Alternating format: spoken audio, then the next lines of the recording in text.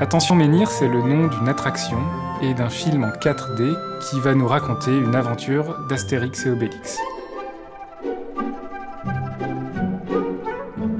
Il y a une vingtaine de minutes de musique dans cette attraction et euh, notamment deux euh, grands moments qui vont être euh, la course d'idées fixes et également l'affrontement entre les Gaulois et les Romains et le banquet final évidemment.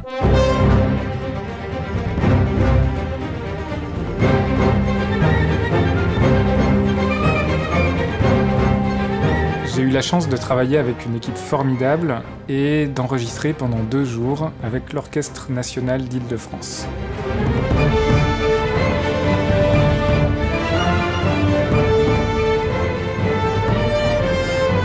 C'est toujours une grande émotion de voir ces personnages prendre vie euh, euh, sur l'écran.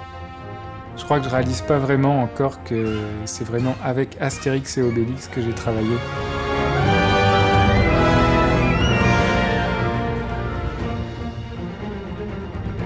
Il y a un thème pour les Gaulois euh, qui va être disséminé par-ci par-là dans le film, et également des grandes fanfares de cuivre pour les Romains.